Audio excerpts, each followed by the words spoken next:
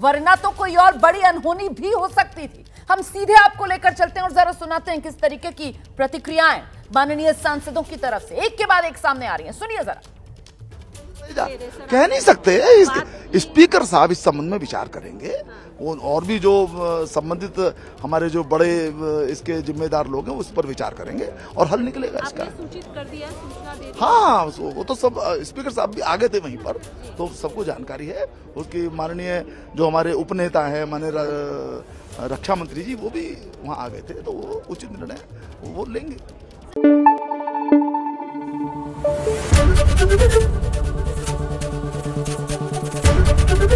ABP News. आपको रखे आगे।